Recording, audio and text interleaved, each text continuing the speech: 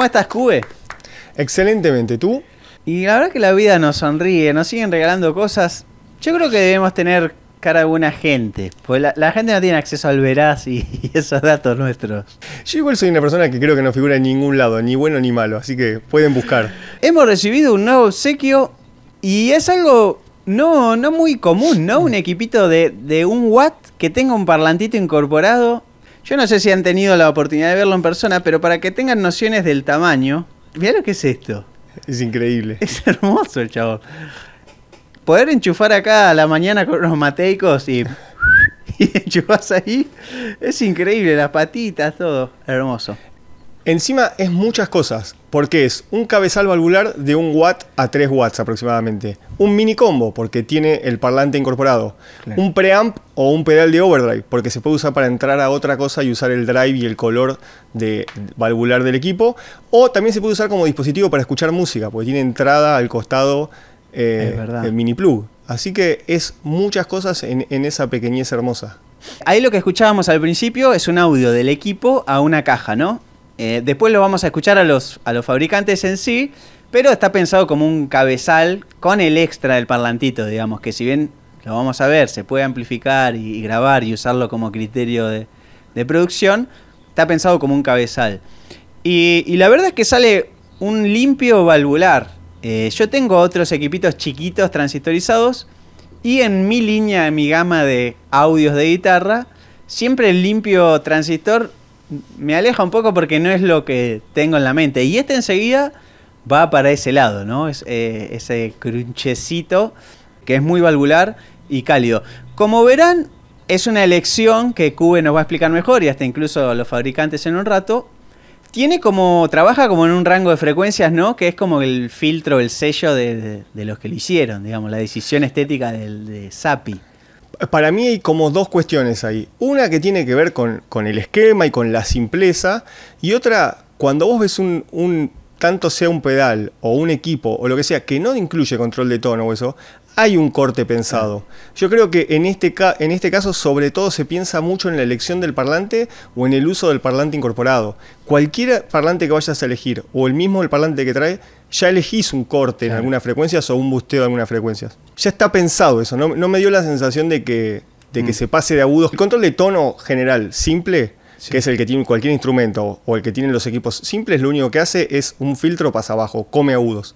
O sea, lo que se supondría de un equipo en el que no existe ese control, que es el más básico, igual no hay controles más complejos que ya todos conocemos, se supondría que tendría que haber un exceso de agudos por el hecho de que comúnmente lo que hacemos es sacar eso. Bueno, en este caso yo no siento eso. Ya el parlante naturalmente se enfoca en frecuencias medias el que trae incorporado. Y ni hablar cuando te vas a un, no sé, a un Vintage 30 o a un Greenback o a cualquier cosa, ya el tamaño y la cantidad de potencia hace que los agudos no, no estén en exceso.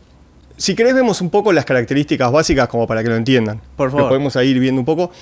El cabezal da, entrega entre 1 y 3 watts. 1 en, en situación limpia 3 en situación de saturación máxima. Tiene dos válvulas, eh, una 12AX7 en la etapa de pre y una 12AU7 que juega como una doble función porque cuando el equipo funciona como cabezal es eh, trabaja en la etapa de potencia y cuando el equipo trabaja como pre o como pedal, esta válvula se transforma en una etapa más de pre. Tiene una salida de parlante que trabaja en 8 o 16 ohms, se puede elegir y a la vez esa misma salida de parlante tiene una llave que permite elegir el funcionamiento cabezal o pedal y en funcionamiento pedal con esa misma salida, exacto, es con la que vamos a otro equipo. Y por último, hacia la derecha van a ver una llave de high-low que lo que nos permite es elegir la cantidad de saturación con la que trabaja la etapa de pre. Obviamente low es un seteo más limpio y high ya está bastante más prendido fuego. Trae el mini speaker incorporado, que en medio de acá, si lo tratan, intentan ver, se ven los dos transformadores de potencia, salida, las dos válvulas y se ve el, parlante. Y como venía girando muy bien, tenemos las dos entradas, la de instrumento o la de auxiliar, que podría ser usado para escuchar música o también para tirarte un backing track y tocar todo ahí mismo. Y en el frente vamos a ver que hay solo dos ahí ya que estamos, te aprovecho. El de abajo es el volumen y el de encima es el, el, plato volador es hermoso, que tiene una luz que encima va marcando la zona en la que se mueve, es la ganancia. Van a notar que interactúan mucho. O sea, eh, subir la ganancia va a afectar el volumen y subir el volumen va a afectar la ganancia. Es muy livianito, pesa 3 kilos y trae un bolsito de cuero que es hermoso para salir de noche. Acá se pudrió todo, mirá. Y te vas ahí con el coso en la Harley Davidson. Nos vimos. Bueno, si querés, eh, le damos paso a los, a los fabricantes. Hernán y Facu, que es un gran guitarrista, lo podrán ver en. Lo han visto con divididos de invitado o en su banda Ojo de Buey, que es una cosa de locos, que creo que no existe más, pero la recomiendo escuchar. Y él va a mostrar un poco el audio del equipo y con el parlantito, ¿no? Después nosotros vamos a seguir un poco más con, con los audios eh, de, del equipo como, como cabezal y como pre, pero él nos va a mostrar el parlantito en funcionamiento. Yo soy Hernán, hola. ¿Qué tal? ¿Cómo estás, Hernán? Con él estamos trabajando juntos hace más o menos dos Antes de la pandemia, boludo. Dos años. ¿Tres? La pandemia fue dos años. Esto va en el video.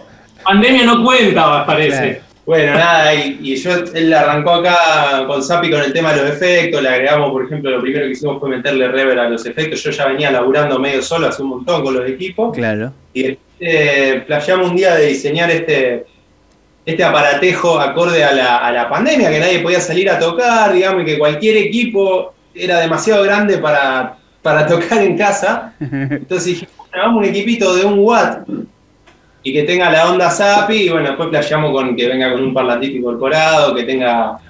Acá Lolo decía que estaba buena la idea este, del, esto del geloso, de que a principios, a finales de los 60, a alguno, se le ocurrió conectarlo. La verdad es que yo me quise comprar un geloso en la pandemia y le dije a Facuchi, si compramos mucho geloso y lo modificamos.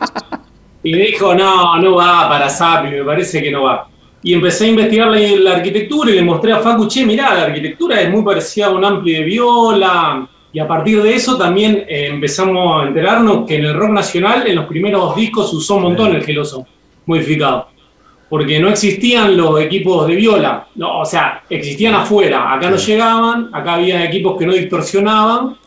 Y bueno, nada, se usaba el, geloso conectándolo adelante, eh, como si fuera otro instrumento más, un pre adelante del pre, de los equipos valvulares que había. Bueno, y a raíz de esto empezamos a investigar y tratamos de hacerle entre un homenaje y un equipito para grabar en tu casa, pandemia y demás. ¿En principio la idea era que tenga parlante o no? El principio de todo, ya te digo, es lo de los gelosos, digamos. Que tiene un parlante. Que tiene un parlante incluido. En realidad nosotros lo vemos más como un cabezal de poco wattaje, de uno entre 1 y 2 watts, con un parlante. O sea, el audio de cabezal y posta es conectado a una caja, básicamente. Lo otro es como un aditivo para, tener un equipito transportable. ese equipito viene con su bolsito, te lo puedes llevar, tocar, y además tenés otro audio que es más low-fi, más parecido, como hablamos, del Pink por ejemplo. Ah, claro. Que no intenta hacer algo hi-fi o, no sé, un, un, no sé, un Celestion B30. Eso y después también nos enteramos que hay un montón de gente que usa esos parlantitos para grabar. El violero de Queen of Stone Age compra equipitos con parlantitos al Nico chiquitito. Y bueno, nosotros probamos un montón, ¿eh? Con Facu, Facu es muy fanático de comprar combinados antiguos, repararlos y demás, así que hemos probado mucho. Nos costó encontrar, porque decíamos, bueno, si le vamos a poner un parlantito que no sea solo porque tenga un parlantito, o sea, que suene mínimamente bien, y de hecho, si bien suena excelente con una caja B30, por ejemplo, yo tenía la, la intención de que uno se anime y se grabe algo, se anime a grabar algo con un parlantito chiquito como el que trae. Claro. Y la verdad es que para mí el audio está buenísimo también. Para algunas condiciones yo me animaría a usarlo. Esto te lo pregunto como fabricante porque me genera mucha curiosidad. ¿La perilla de ganancia la consiguen o la hacen? Porque es espectacular. Todo, todo, todo, absolutamente todo diseño propio. Eh, la Zarpado. fabricamos. Esa está, está impresa en 3D, en realidad. Eh, una fue comprarme una impresora. También, bueno, tengo pensado trabajar en resinas y otros materiales para, para, para ir mejorando todas estas cosas. Ahí la perilla esa le pusimos, tiene el nombre, ¿viste? La de arriba, la grande, se llama plato volador. Y la otra se llama tifón. Sí, bueno, le vamos poniendo nombres, sí. Sí, sí, también pensando eso, digamos, de gener- empezar a, a tratar de jugarlo un poco y generar diseños propios, no ir a comprar la perilla estándar y ponérsela. Obviamente que lleva tiempo, es un desarrollo, este desarrollo llevó un año, por lo menos. Claro. Usando como parámetro el geloso, que es lo que vos me decías, el geloso es un poco, al final, es como más comprimido y distorsionado. Este es un poquito más abierto. ¿Es una búsqueda o tiene que ver con las válvulas que usar? Porque cambiaron, no es lo mismo que el geloso.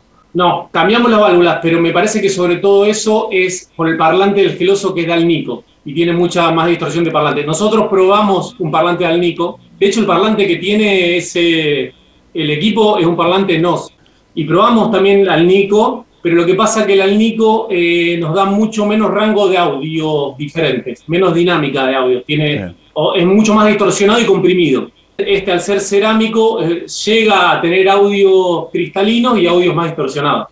El Alnico lo que tenía era que sonaba hermoso, pero sonaba todo el tiempo saturado. Que Claro. aunque le baje el volumen, sona- seguía sonando saturado. Entonces optamos por este que incluso tenía un poco más de, de headroom dentro de lo que te digo, del- de, una, una cosa tan pequeña. Claro. este, terminó ganando. Si bien es, está basado en la idea del geloso, después la arquitectura no es igual a la del geloso. Si bien no tiene ecualización, está ecualizado, digamos, de una manera que a nosotros nos resultó agradable. Claro. Este equilibrio entre distorsión y limpio. A Facu le gusta más los audios distorsionados, a mí me gusta más limpio. Aparte también siguiendo la línea de Sapi que son ampli siempre monocanal y con pocas perillas, queríamos eso, que no tenga tanta, tantas opciones incluso para no llenarlo de, de perilla, porque tenía que tener una estética de, de radio, ¿viste? Como que tenía el dial y el volumen y ya. De hecho, varía el tono, eh, depende de si usás, eh, tiene ciertas componentes ubicados en ciertos lugares que depende la ganancia donde se ubica o el volumen donde se ubica, tiene una ecualización particular, básicamente. La idea de que funcione como pre la tenían del vamos, porque nosotros lo probamos con un equipo, con- pasando por otro equipo y es zarpado lo que aprieta y lo que levanta. Salió un poco sobre ya cuando lo teníamos casi cocinado, dijimos, che, nos faltó el modo pedal, o sea, el modo que hubiese estado buenísimo. Y de hecho por eso a ustedes les mandamos uno de los primeros que no tiene la, la, la Claro. instrucción de modo pedal, pero sí tiene la palanquita, Claro, que no dice claro. nada. Este, vos pasas la viola por ahí y de ahí vas a un ampli y claro, te da una distor bien comprimida. Y mucho más high gain, digamos, que no la lográs. sino. Y ahí es todo válvula, que está pasando por la, la del pre, que es 12X7, y la de potencia, que es una Se, 12AU7. se le suma la de potencia, no, no es la salida del pre Ah. nomás. Es decir, sumada las potencias, las dos. Es como si tuviera Sí. dos válvulas de pre y entran al otro pre. Cuentan ahí con un guitarrista notable, ¿no? Como Facu. Ya que tenemos un chabón que toca bien, est- estaría bueno aprovecharlo y que de paso nos muestre cómo suena el equipo, ¿no? ¿Tenés ganas de tocar, Facu, algo? Y bueno, acá por ejemplo lo que va a sonar es- sale derecho del Astor, directo del parlantito que tiene incorporado.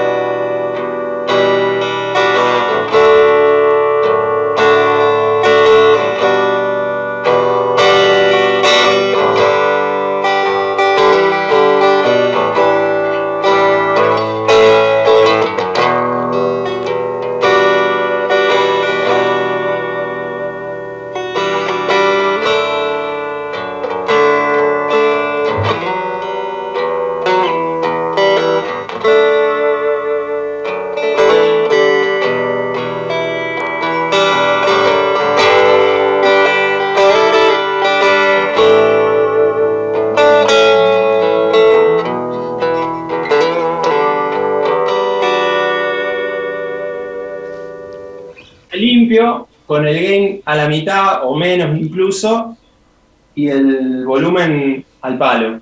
O sea, suena chiquito, suena de escritorio, como para tocar en la habitación. Pero no deja de ser un audio valvular. O sea, Coincido. Tiene de la válvula. Y bueno, también el equipo ahí estaba atrás, no sé si habrán visto, tiene una, palanquita que es de high y low, que desatura un, poco en una etapa de ganancia. Ah. Uno de los trigos de la válvula lo desatura, como para generar este audio un poquito más limpio. Ahí estaba más bien limpio, bueno, acá cambié de viola con una Squire que tiene un... vino así, con un mic doble atrás. Voy a tocar un audio un poquito más picante como para... Dale.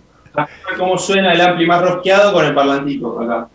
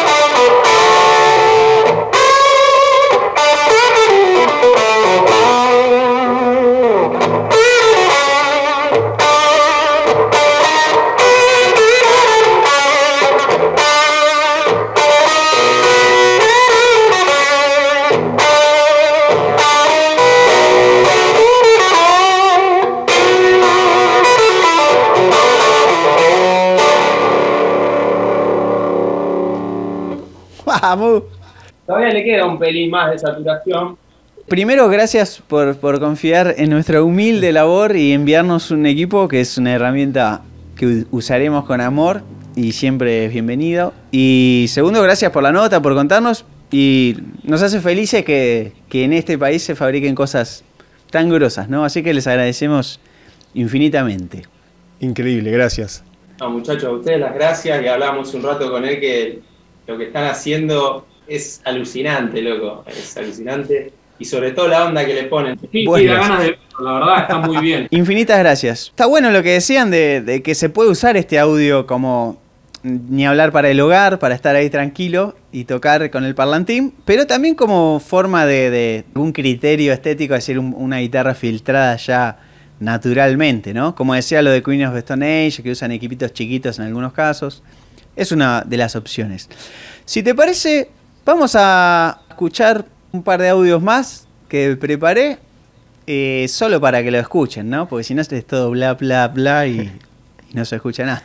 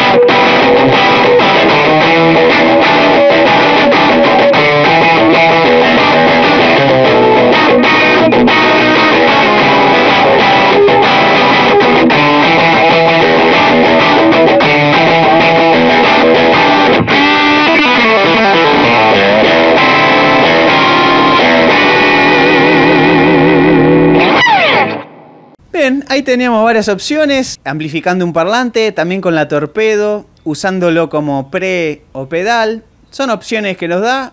Evidentemente, creo yo que es para tener una opción de, audio, ¿no? no sé si va a ser tu único equipo, sino que ofrece, obviamente es un, es un objeto particular. No va a cubrir todas las necesidades que tengas. Creo que ningún equipo va a cubrir todas las necesidades que tengas. Pero este es como más específico, ¿no?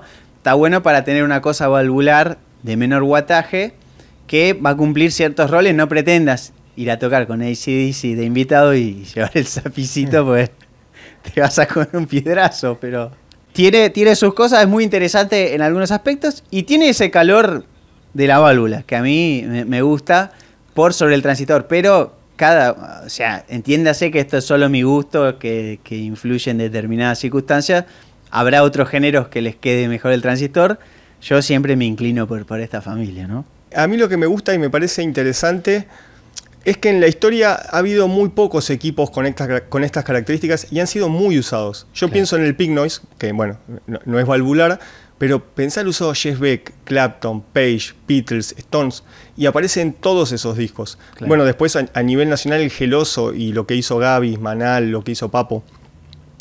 Es eso, es, muchas veces me parece que es un, e- un equipo que pensándolo en función de la banda y no solo de la práctica hogareña, eh, ofrece unas posibilidades que no suelen estar o que nuestro oído tiene que estar entrenado a veces para, dilucidar el hueco exacto. Como decías vos, Queens of Stone Age en esas capas siempre usa eh, eh, capas filtradas. A lo que voy es que vos lo pones a este equipo en un parlante de 12 y suena con un audio más tradicional. Pero cuando usás ese, ese parlantito que trae, que filtra un montón de cosas, eh, me parece que es como interesante como ejercicio para empezar a entender qué sumar al momento de grabar. Y ni hablamos esa posibilidad que escuchamos cuando, cuando entras a otro equipo y lo usas como pre, es como entre un booster y un excitador de frecuencias muy power. Bueno, creo que mostramos de todo. No sé qué más, como pisapapeles, no sé qué más querés hacer con esto. Es un objeto hermoso para generar música, básicamente. Bien. Querido, un honor. Nos veremos la próxima. Hasta la próxima.